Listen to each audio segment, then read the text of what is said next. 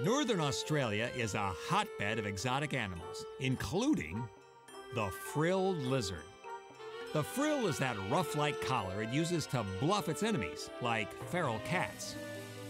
Now, here's the frill at half staff.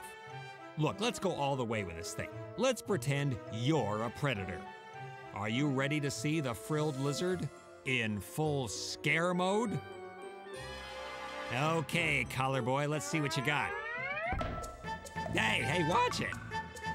As you can see, the whole point of this exercise was to get the frilled lizard on the run, because a frilled lizard on the run is one of nature's most offbeat, entertaining sights. I mean, check out that leg action. The way it runs, pumping its back legs akimbo, has earned it the name bicycle lizard. The point of the scary frill is to give the lizard enough time to beat a hasty retreat, rocketing up the nearest arboreal loft.